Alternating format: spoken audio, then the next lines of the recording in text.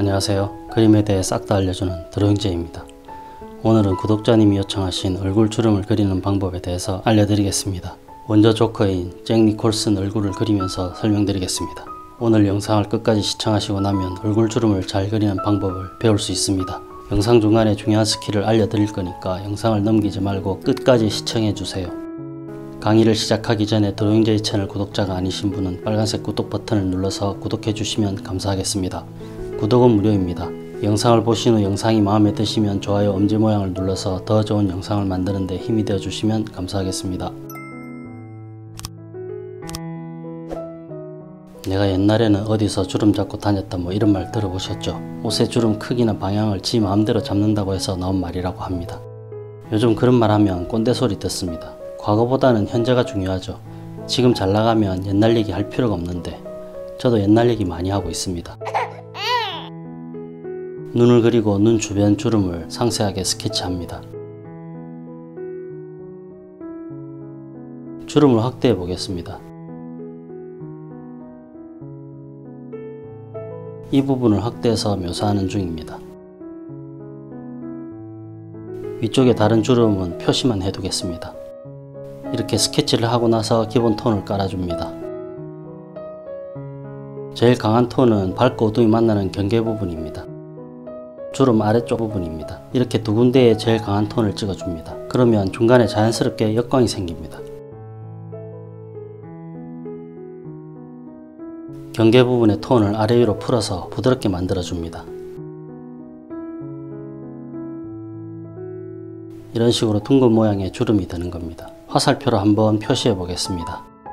주름 묘사하는 두 가지 방법을 설명드릴 건데 지금 설명드리는 것은 눈가 주름 중에 제일 큰 주름이나 입 주변 팔자 주름 같이 굵고 큰 주름을 묘사할 때 사용합니다. 다른 한 가지는 시작점만 강하고 밝은 쪽으로 풀어주면서 표현하는 방법입니다. 첫 번째 표현법을 사용하는 굵은 주름은 둥글기가 크고 두 번째 방법은 둥글기가 완만한 주름을 그릴 때 사용합니다. 둥글기가 낮은 주름도 앞쪽으로 가면 이렇게 작고 둥그러집니다. 주름의 시작점을 진하게 하고 밝은 쪽으로 갈수록 연하게 풀어줍니다. 최대한 부드럽게 그라데이션 합니다. 첫 번째, 두 번째 이 두 가지 방법으로 얼굴 주름을 묘사합니다. 사람의 얼굴에는 짜잘한 주름이 많아서 큰 주름 외에는 두 번째 방법을 주로 많이 사용해서 묘사하면 됩니다. 그 외에 아주 작거나 색깔이 연한 주름 같은 경우는 진한 색 없이 그냥 일정한 색으로 묘사하시면 됩니다. 눈을 그립니다.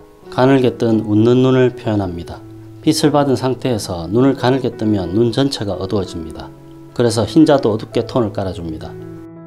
눈동자하고 흰자의 구분을 선명하게 하지 않고 비슷한 톤으로 표현합니다. 주름이 시작되는 눈꼬리 부분을 진하게 합니다. 눈에서 멀어지면 마음도 약해진다는 말이 있죠. 주름도 눈에서 멀어질수록 톤이 약해집니다. 눈 밑 애교살 노인 얼굴인데 애교살은 좀 그렇죠. 눈 밑 부분의 주름은 두께와 진하기를 강하게 합니다. 젊은 얼굴을 그렸는데 늙어 보일 때가 가끔 있죠. 형태 문제일 수도 있지만 대부분은 주름 그릴 때 너무 강하게 그려서 그렇습니다. 반대로 노인의 얼굴은 주름을 강하게 표현하는 게 좋겠죠. 특히 눈 주변, 입 주변 주름을 강하게 그리는 것이 포인트입니다. 그러면 젊은 얼굴을 그릴 때는 눈 주변, 입 주변 주름을 연하게 하는 게 포인트가 되겠죠. 옆면 얼굴이 시작되는 관자놀이 부분에 톤을 깔아줍니다. 가장 밝은 부분만 남겨두고 주름 전체에 중간색을 올려서 부드럽게 합니다. 찰필로 눈하고 주름의 경계를 부드럽게 만들어줍니다. 어두운 부분도 포함해서 전체적으로 문질러줍니다. 밝은 부분을 지우개로 닦아서 선명하게 합니다. 붓을 사용해서 전체적으로 은은하고 부드럽게 톤을 올려줍니다. 주름을 좀 더 세밀하게 정리하면서 톤을 올립니다. 실제 얼굴을 그릴 때는 여건에 따라서 이 과정을 여러 번 반복하게 됩니다. 사람에 따라 다르겠지만 특별히 속눈썹이 긴 경우가 아니라면 남자 노인의 얼굴을 그릴 때는 속눈썹을 너무 길게 그리지 않는 게 좋습니다. 속눈썹을 진하고 길게 표현하면 얼굴이 젊어지게 됩니다. 짧고 연하게 표현해야지 나이 든 얼굴이 됩니다.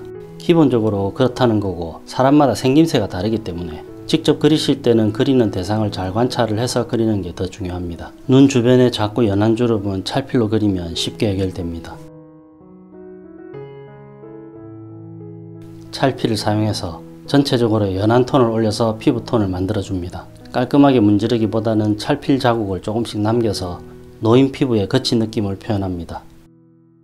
지금까지 설명드린 주름 표현 방법을 사용해서 잭 니콜슨 얼굴을 그려보겠습니다. 그림이 진행되는 과정에서 얼굴 전체의 주름을 어떻게 표현하는지 묘사 방법을 눈여겨보시기 바랍니다.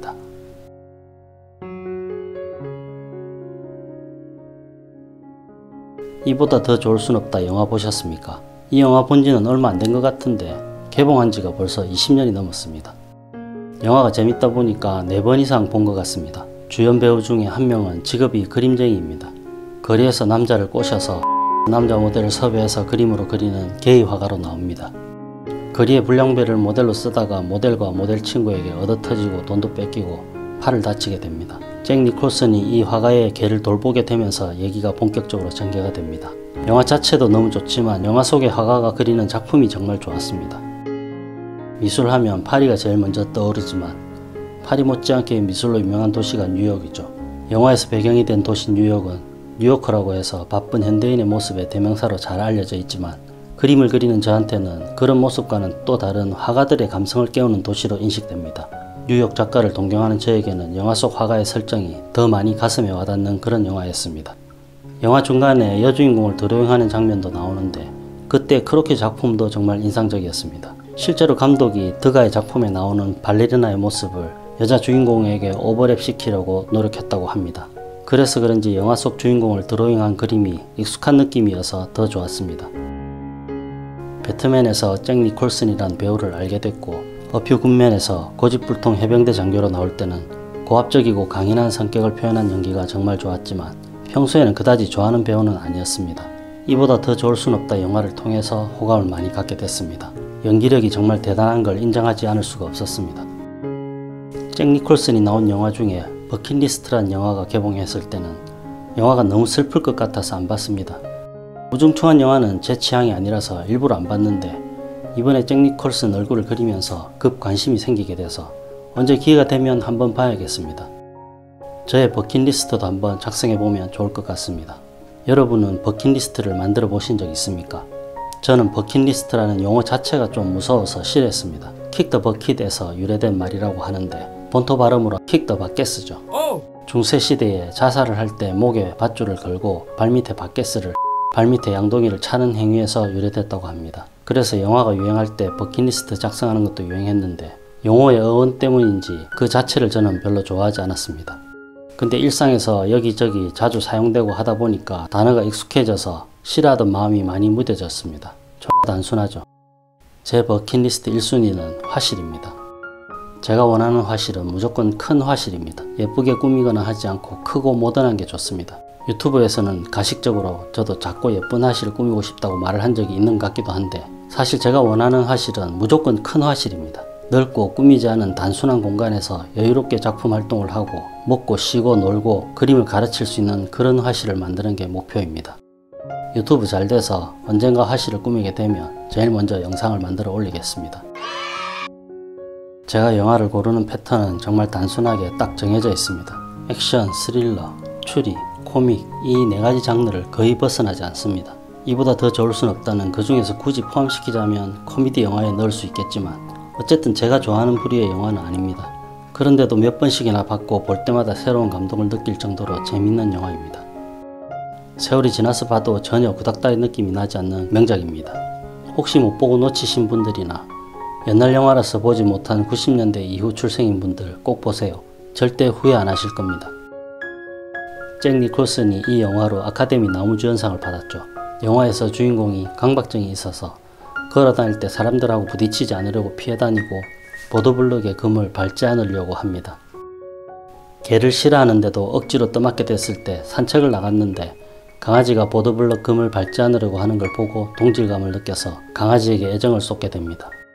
잭 니콜슨이 아카데미 나무주연상 받는 장면을 TV 중계로 봤었는데 나무주 연상 받으러 나올 때 타일 금을 밟지 않으려고 하면서 단상위로 장난스럽게 올라가서 관중들이 웃고 박수치며 즐겁게 환호했던 기억이 납니다. 정말 멋진 영화에 어울리는 멋진 배우라고 생각합니다. 이상으로 잭 니콜슨을 그리면서 노인 얼굴 주름 그리는 방법에 대해서 알아봤습니다. 다음은 동그라미를 잘 그리는 방법에 대해서 알려드리겠습니다. 시청해주셔서 감사합니다. 구독, 좋아요, 전체 알림 설정도 부탁드립니다.